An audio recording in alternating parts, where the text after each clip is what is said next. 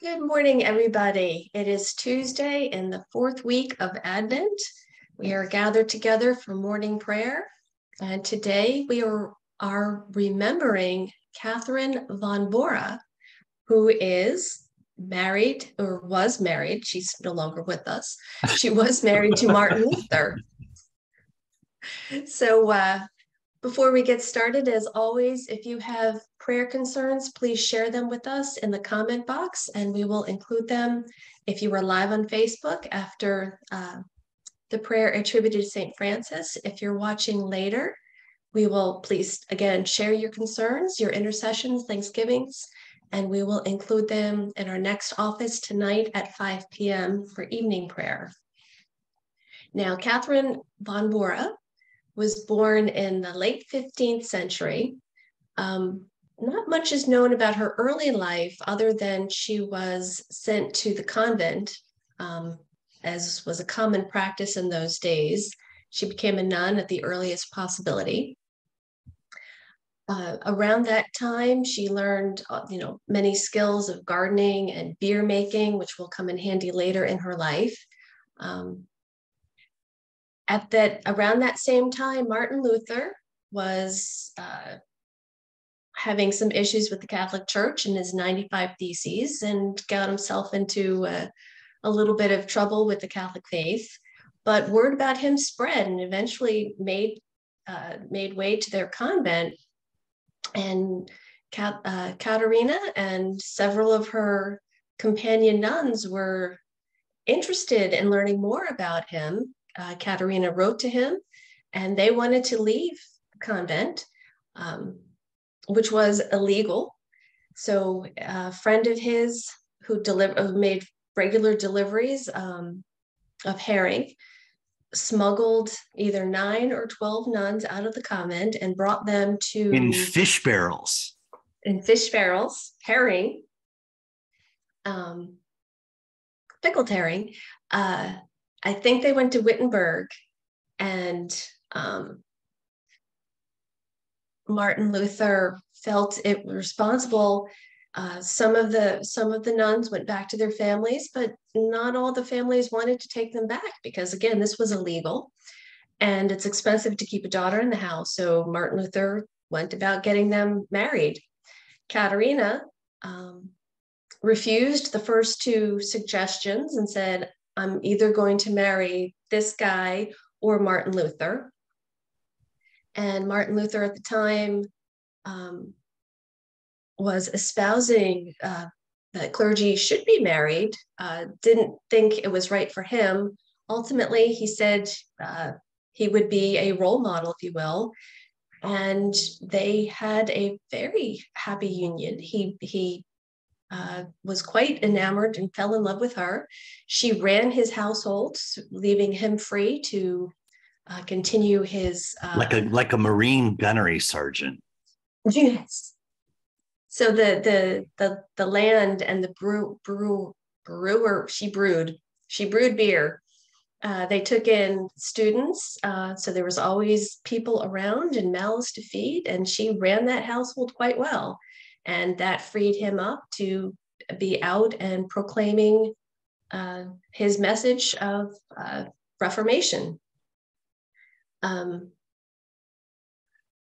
so she she uh, she didn't just she didn't just operate a brewery. She operated a brewery, a creamery, a farm, and also marketed and managed all of those aspects of the business, plus managing the household. It was called the Black Cloister, actually, and uh, eventually it became Luther House. Uh, it was owned by the university, but it was maintained by the Luther family, and she was really, truly the the backbone, if you will, of the Reformation effort. She referred to her uh, her husband as Pastor Doctor, or Professor Doctor, um, affectionately, they say. Uh, when Martin Luther died, sadly, she did not have an easy time of it. Uh, she could not inherit his property, and most of what they had was, if you will, borrowed. So she actually wound up having to move around quite a bit in that region. She was ultimately supported by the elector of that uh, and the nobility of that community with a small pension, but it wasn't quite enough to support her and her family. On top of that, this was a time of intense warfare. So um, the Black Cloister was actually sacked and invaded several times, and she had to flee in the face of invading armies and incursions of varying warring parties as the battles of the Reformation raged back and forth dying at the age of 53 after having uh, fa- having fallen into a uh, an icy an icy uh, road ditch uh, one of the times that she was a refugee. But she did die in comfort, and her children were actually able to recover some of the expenses of the Black Cloister, and the estate was actually able to support them. But truly, she was a formidable woman of the Reformation. We remember her today. So. Behind every great man is a great woman. Yes. And uh, that reminded me one one more bit before we get started. She was also a great. Uh, she wasn't really a doctor, but she knew much about herbs. And Martin Luther was not in great health, and she took uh, fabulous care of him and his many ailments. Her son Paul, I believe, who did go on to be a doctor, said that she was half a doctor. So add that to her list of accomplishments and uh, and skills. Wonderful, remarkable woman. So now we have morning prayer. Prepare ye the way of the Lord, make straight in the light in the desert a highway for our God. Let us humbly confess our sins unto Almighty God. Almighty and most merciful Father, we have erred and strayed from thy ways like lost sheep. We have followed too much the devices and desires of our own hearts. We have offended against thy holy laws. We have left undone those things which we ought to have done, and we have done those things which we ought not to have done. But thou, O Lord, have mercy upon us. Spare thou those who confess their faults. Restore thou those who are penitent, according to thy promises declared unto humankind in Christ Jesus our Lord and grant, O most merciful Father, for his sake, that we may hereafter live a godly, righteous, and sober life to the glory of thy holy name. Amen. The Almighty and merciful Lord grant us absolution and remission of all our sins, true repentance, amendment of life, and the grace and consolation of his Holy Spirit. Amen.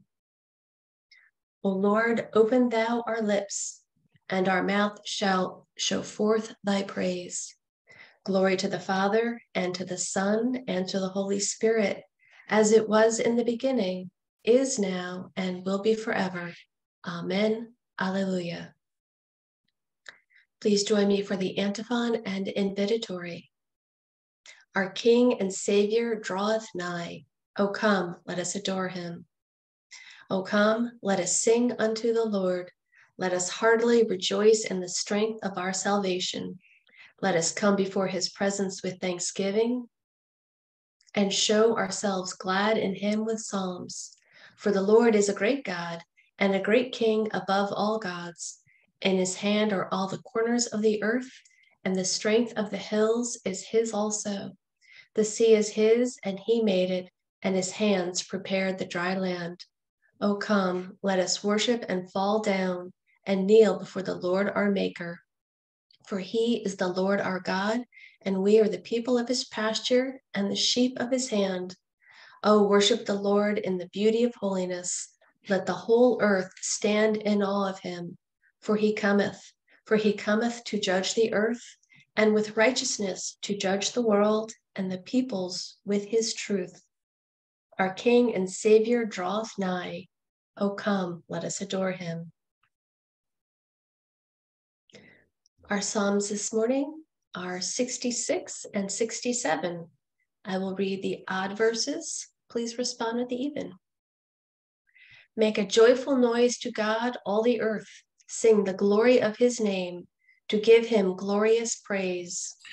Say to God, Say to how, God awesome how, awesome are, your, are deeds. your deeds. Because, because of your great, your great power, power, your, your enemies, enemies cringe, cringe before, you. before you.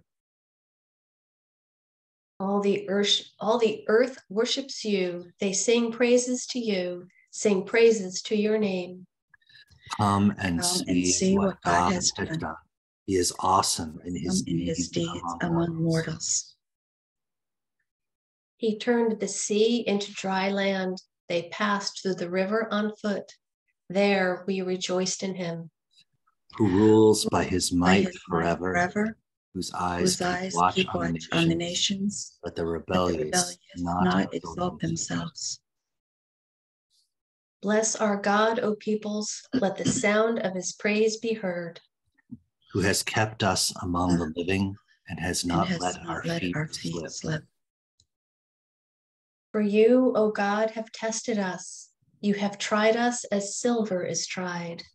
You brought us into the Into net. the net. You laid You burdens, burdens on our on our backs. back.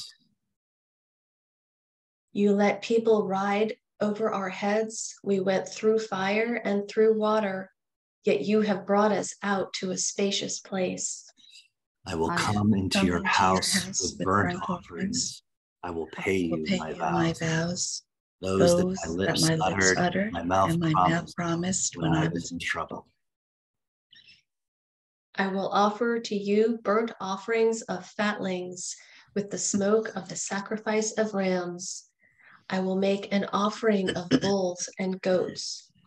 Come and hear, and hear, all you all who you fear who fear God, and I will and tell will what he has done for me. for me. I cried aloud to him, and he was extolled with my tongue. If I had I cherished cherished iniquity, iniquity in my heart, the Lord would not have would not listened. have listened. But truly, God has listened. He has given heed to the words of my prayer. Blessed be God, because the Lord has not rejected my prayer or removed his steadfast love steadfast from me. from me. May God be gracious to us and bless us, and make his face to shine upon us. That our way may be May known we upon earth, on earth your saving saving power among all among all nations. nations.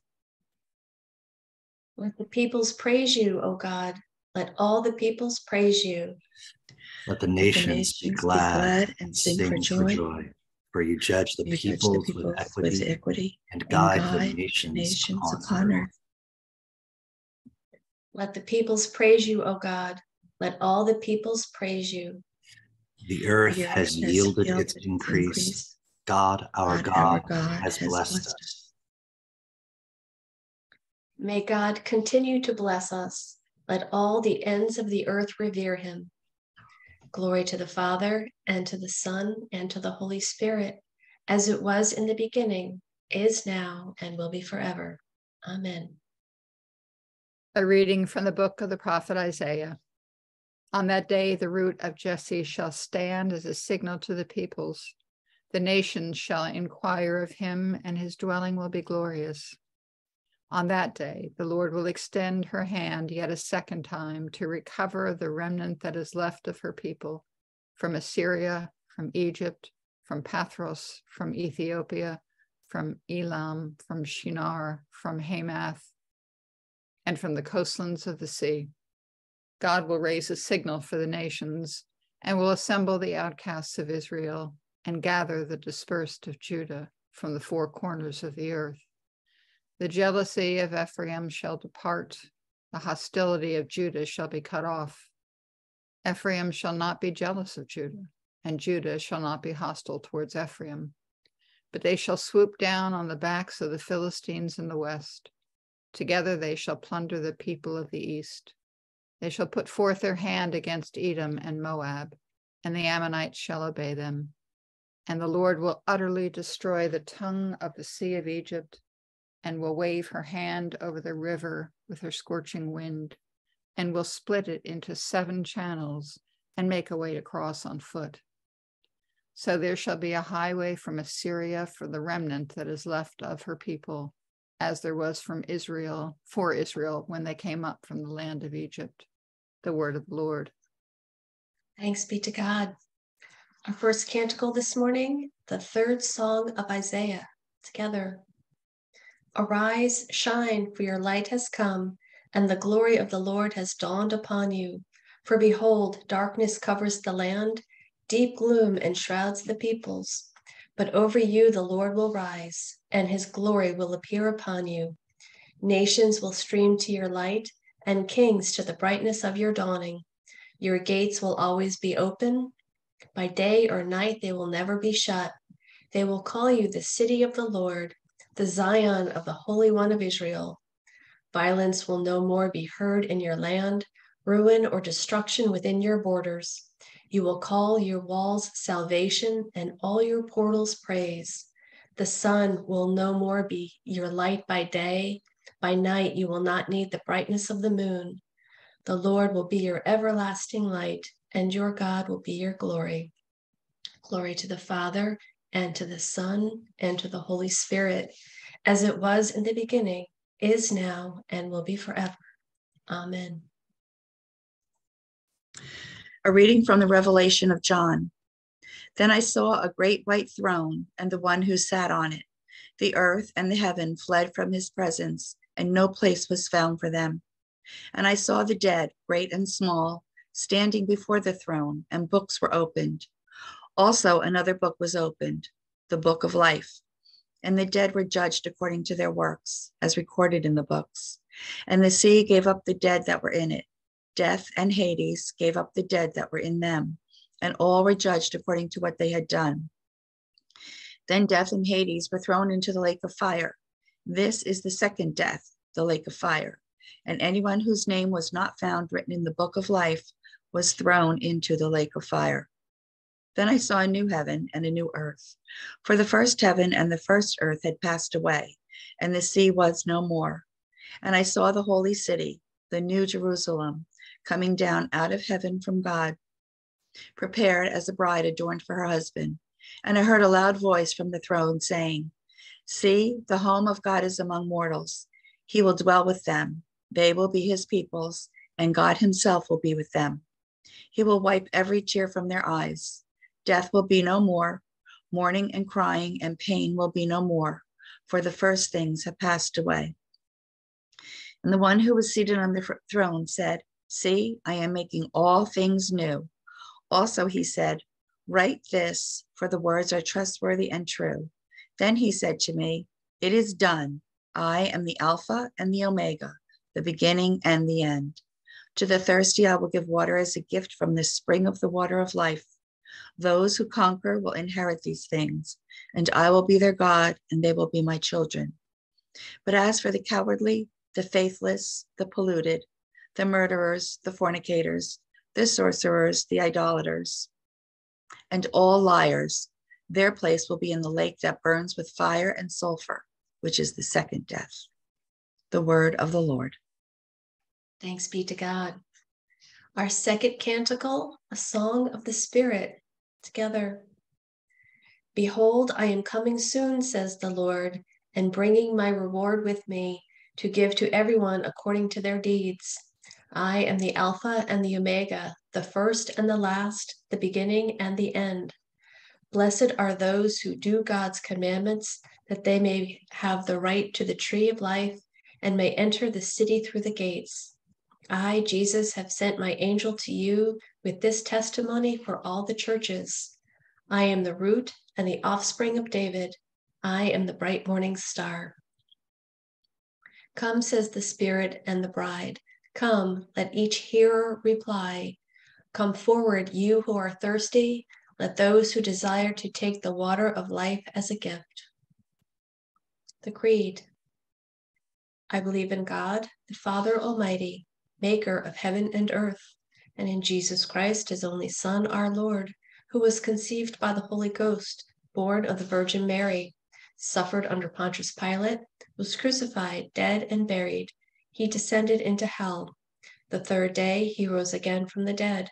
He ascended into heaven and sitteth on the right hand of God the Father Almighty. From thence he shall come to judge the quick and the dead. I believe in the Holy Ghost, the Holy Catholic Church, the communion of saints, the forgiveness of sins, the resurrection of the body, and the life everlasting. Amen. The Lord be with you. Let us pray. Our Father, who art in heaven, hallowed be thy name. Thy kingdom come, thy will be done, on earth as it is in heaven. Give us this day our daily bread, and forgive us our trespasses, as we forgive those who trespass against us. and lead us not into temptation, but deliver us from evil. For thine is the kingdom, and the power, and the glory, forever and ever. Amen. O Lord, save thy people and bless thine heritage. Govern them Govern and lift them, them up forever. forever. Day by day we magnify thee.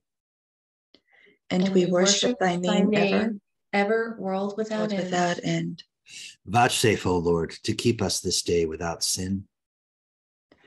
O Lord, have, have mercy, mercy upon, upon us. us. Have mercy, have mercy upon, upon us. us. O Lord, let thy mercy be upon us. As our As trust, our trust is, in, is in thee. O Lord, in thee have I trusted. Let me, let never, me be, never confounded. be confounded. Almighty God, who called your servant Katarina von Bora from a cloister to work for the reform of your church, Grant that for the sake of your glory and the welfare of your church, we may go wherever you should call and serve however you should will, through Jesus Christ, our only mediator and advocate. Amen.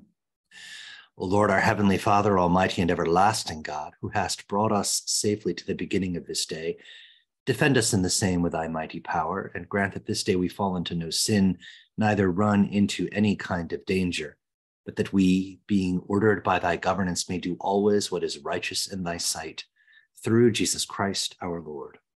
Amen. O God, who hast made of one blood all the peoples of the earth and did send thy blessed Son to preach peace to those who are far off and to those who are near, grant that people everywhere may seek after thee and find thee. Bring the nations into thy fold. Pour out thy spirit upon all flesh and hasten the coming of thy kingdom through the same thy Son, Jesus Christ our Lord. Amen. Please join me in a prayer attributed to St. Francis. Lord, make us instruments of your peace. Where there is hatred, let us sow love. Where there is injury, pardon. Where there is discord, union. Where there is doubt, faith. Where there is despair, hope. Where there is darkness, light. Where there is sadness, joy. Grant that we may not so much seek to be consoled as to console, to be understood as to understand, to be loved as to love. For it is in giving that we receive, it is in pardoning that we are pardoned, and it is in dying that we are born to eternal life. Amen. I invite your prayers of intercession and thanksgiving. We pray for the repose of the soul of Keith Gabbett, and we mark his passing. And we pray for his family and for his friends who mourn his death. And I'd like to pray for the repose of the soul of Mary Ann Williams and her family also. Amen. I'd like to lift up in prayer this morning all those who are cold and hungry and feeling lost and alone, all those who carry all of their possessions in a shopping bag or a cart. Watch over them, Lord. Help them find a safe harbor. Protect them as they wander the streets and see that the rest of us notice them and that we reach out our hand to help them as well. Amen. I ask your prayers for those who are grieving, for those who are struggling with health concerns, anxiety, spiritual mental crises. They may find peace and comfort and healing.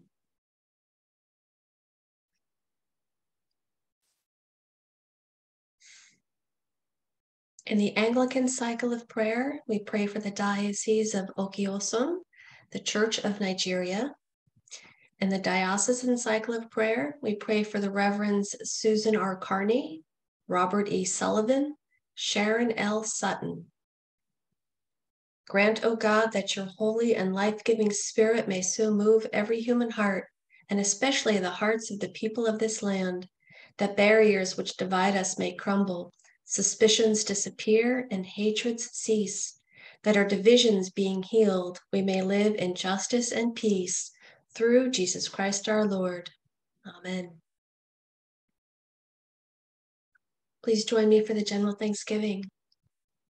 Almighty God, Father of all mercies, we, thine unworthy servants, do give thee most humble and hearty thanks for all thy goodness and loving kindness to us and to all. We bless thee for our creation, preservation, and all the blessings of this life, but above all for thine inestimable love and the redemption of the world by our Lord Jesus Christ, for the means of grace and for the hope of glory. And we beseech thee, give us that due sense of all thy mercies, that our hearts may be unfeignedly thankful, and that we show forth thy praise, not only with our lips, but in our lives, by giving up ourselves to thy service and by walking before thee in holiness and righteousness all our days, through Jesus Christ our Lord, to whom with thee and the Holy Ghost be all honor and glory, world without end. Amen. Almighty God, who has given us grace at this time with one accord to make our common supplication unto thee, and hast promised through thy well beloved Son that when two or three are gathered together in his name, thou wilt be in the midst of them. Fulfill now, O Lord, the desires and petitions of thy servants as may be best for us, granting us in this world knowledge of thy truth, and the world to come life everlasting. Amen. Let us bless the Lord. Thanks be to God. May the God of hope fill us with all joy and peace and believing through the power of the Holy Spirit. Amen. Amen. Come on. Well, that concludes morning prayer and gets us onto our day of work and witness and service in the name of Jesus. And uh, so much going on in St. Peter's. Check out our website, St. Peter's, uh, St. Peter's Spotswood.org and see all the happenings. Uh, and we will gather again today at five o'clock for evening prayer. Like us on Facebook, follow us on Facebook, like us follows and likes. It, it, i don't know what to do. I've already i've already done it. You do it too.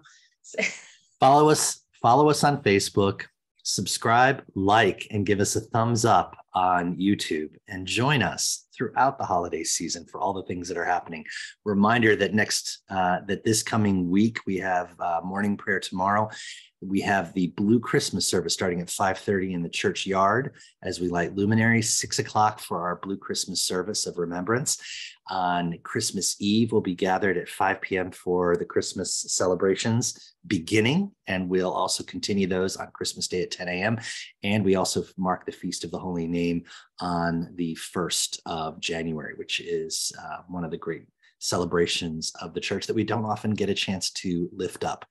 We will be on hiatus next week for the Christmas holiday, but we'll return on January 3rd after that. So we'll just keep you posted. Yes. Morning and evening prayer on Thursday. Morning and evening prayer on Thursday. Wouldn't miss that for the world. So, yes, do join us. I think that's everything. Take I think care. so. bye bye now. Bye.